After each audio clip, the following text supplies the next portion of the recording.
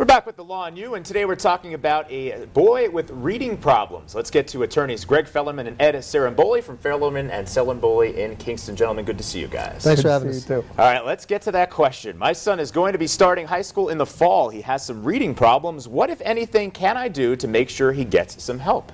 Well, the first thing you want to do is obviously your child's education is the most important thing to you and your child for their future. So it's always best to reach out to the school immediately.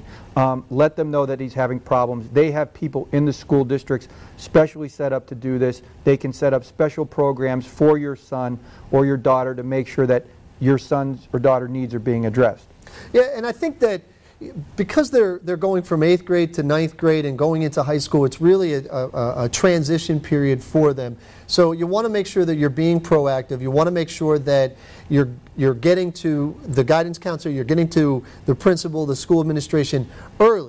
Uh, the earlier you get to them and you tell them what's going on with your son or daughter, you know, if um, uh, then you're going to be able to sit down and come up with a plan. If the reading problems are severe enough, then the school district can put into place uh, what's called an IEP or something of that nature and just give them the help that they're going to need so that they can, can, can succeed in their education. All right, some great answers to today's question, and you may have additional questions. Uh, how can our viewers get in touch with you guys? They can get us on our website at uh, 714hurt.com. They can call our office at 570-714-4878.